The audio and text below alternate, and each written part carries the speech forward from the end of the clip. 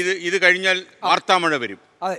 Google review ആയിരിക്കും വാർത്താമഴ വായിക്കുന്നത് എനിക്ക് തോന്നുന്നു. ഈ വാർത്താമഴ അങ്ങനെ ഒരു പേരിടാൻ എന്താ കാര്യം?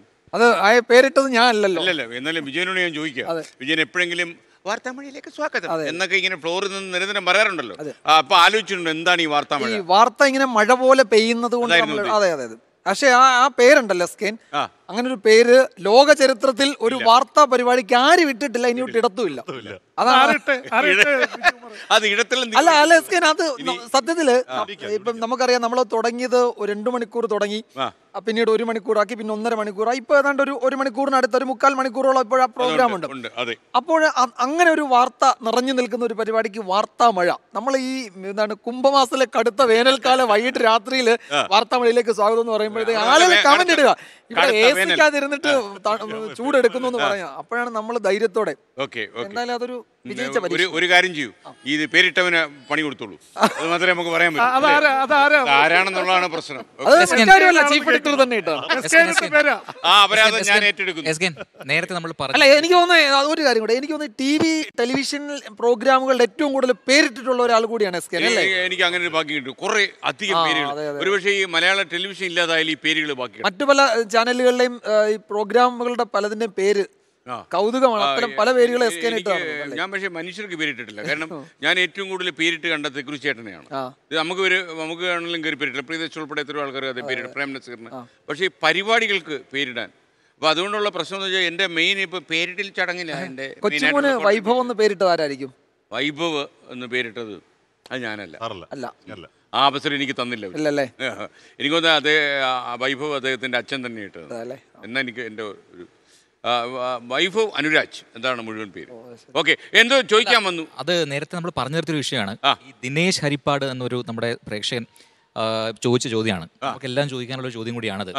എസ് ആ. താങ്കളും പഴയ പ്രണയങ്ങൾ വെളിപ്പെടുത്താമോ? വെളിപ്പെടുത്താമായിരുന്നു. പക്ഷേ എന്റെ ഭാര്യ ഇവിടെ തന്നെയാണ് ജോലി ചെയ്യുന്നത്. ആ അത് അത്.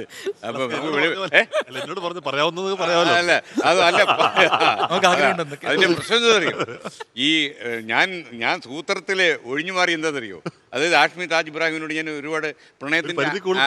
പ്രണയത്തിന്റെ മതിലൊക്കെ ചാടി അപ്പുറം കടക്കാതിരുന്നെന്തറിയോ ചിലപ്പോ ഈ ദുര്യോഗം എനിക്കും വന്ന് ചേരുമല്ലോ എന്ന് കരുതിയത് ഓക്കെ. ആ, അത് വളരെ ആ നന്നായി. മാഡമായിട്ട് ചെറുപ്പം മുതലേ അവർ പ്രണയത്തിലായിരുന്നു. അങ്ങനെ വിവാഹം കഴിച്ചതാണ്. അതാ പി പി കണ്ടുപിടിച്ചത്. യഥാർത്ഥത്തിൽ പി പിക്ക് ഒരു എപ്പോഴും ഒരു മീഡിയേറ്റർ റോളുണ്ട്. തിരുവനന്തപുരത്തൊക്കെ പി പിയുടെ പ്രധാന ജോലി എന്ന് പറയുന്നത് പ്രണയിക്കാതെ മാന്യമായിട്ട് നടക്കുന്ന ആൾക്കാരെ പ്രണയിപ്പിക്കുക. അയ്യോ അങ്ങനെ ഒരിക്കലും ഞാൻ ചെയ്തിട്ടില്ല. ഞാൻ ഒന്ന് രണ്ട് കാര്യങ്ങൾ ഇപ്പൊ പറയും. ആ പ്രേക്ഷകരോട് ഞാൻ പറയും. അല്ല ഒരു കാര്യമുണ്ട് എസ് കെനെ ഒരു അപകടത്തിൽ നിന്ന് രക്ഷിച്ചതിന് എനിക്കിത് വേണം. ആ കറക്റ്റ് കറക്റ്റ്. ഇതെല്ലാം ഓർത്ത് വെച്ചേക്കുന്നത്. നല്ല അല്ലല്ല അല്ല അല്ല, ഈ ഇപ്പോഴേതോ അപകടത്തിൽ നിന്ന് രക്ഷിച്ച കാര്യമാണ്. ഈ ഈ സമയത്താണോ? അല്ല അതാണ് ജെയിംസ് ഉദ്ദേശിച്ചത്. എസ് കെ പഴയ ഏതോ കഥ പറഞ്ഞു. ആ രണ്ടുപേരും കൂടെ അത് പറഞ്ഞേക്ക്. അതല്ല. പറ. പഴയ പ്രണയങ്ങളൊക്കെ പറയാൻ പറഞ്ഞു. മനസ്സിലായി. ഈ പ്രജിൻ പ്രതികാരം ചെയ്തതാ. കാര്യം ഈ പ്രജിൻ ഈ ധർമ്മപത്നി നമ്മളിവിടെ വിളിച്ചുകൊണ്ട് വരുമെന്ന് ജീവിതത്തിൽ ആലോചിച്ചിട്ടില്ല. കാര്യം ആ കേക്കൊക്കെ ഇറങ്ങുമ്പോൾ ഉണ്ടല്ലോ വേറെ ഏതോ മാരക വിഷം ഉള്ളിലേക്ക് ഇറങ്ങുന്നവരായിരുന്നു അങ്ങനെയാണെങ്കിലേ. അല്ലേ? എസ് കെ ബന്ധുവിനെ തന്നെയാണ് വിവാഹം കഴിച്ചത്. ചെറുപ്പം മുതലേ അറിയാം. അതിനു മുമ്പ് വേറെ പ്രണയത്തിന്റെ കഥ പറയണ്ട. ഒരു അത് ഏട്ട് പ്രണയമുണ്ട് ഒരു പത്ത് പതിനാലെണ്ണം വരും. ഞാൻ ആഷ്മി സ്വകാര്യമായിട്ട് ഒരു ദിവസത്തിൽ ഒരു നാല് മണിക്കൂർ ചെലവാക്കാൻ ഇരിക്കുവാണെങ്കിൽ ഞാൻ പ്രണയത്തിന്റെ കാര്യങ്ങൾ പറയാം. ഇരുന്നിരിക്കും. ആഷ്മി നമുക്ക് ഒരു പുസ്തകം തന്നെ എഴുതാം. അത്. തന്നെ ആലോചിച്ചു ഇത് കഴിഞ്ഞ് വീട്ടിൽ കയറണമല്ലോ എന്നുള്ളത്. ഓക്കെ ഗോപി? അപ്പൊ നമുക്ക് ഒന്ന് രണ്ട് കാര്യങ്ങൾ ചോദിക്കണ്ടല്ലോ ഗോപി. ഗോപി കുറേ കാലമായി ഗോപിയായിട്ട് ഇങ്ങനെ ജോലിയായിട്ട് കഴിയുന്നു. ഈ ഗോപി ഒരു സംതൃപ്തനായിട്ട് വളരുകയാണോ ഇപ്പോൾ?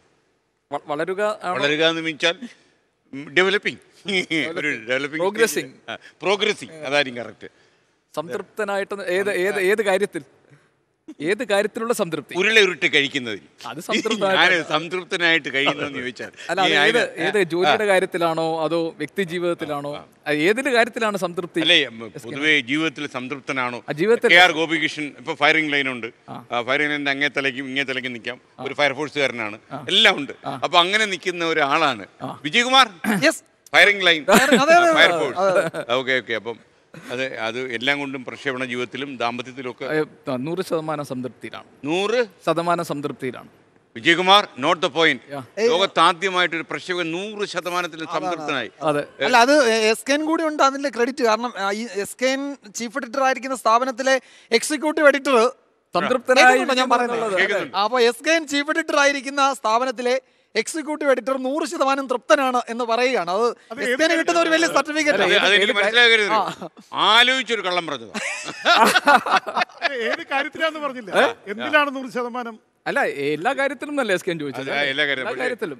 ഗോപി വളരെ സൗമ്യനും ശാന്ത സാറ്റിസ്ഫൈഡ് ഈ കലാപകലുഷിതമായ ജീവിതത്തിലേക്ക് പുള്ളിക്ക് താല്പര്യമില്ല. അതാണ് സാറ്റിസ്ഫൈഡ് എന്നൊരു വാക്ക് പറഞ്ഞു.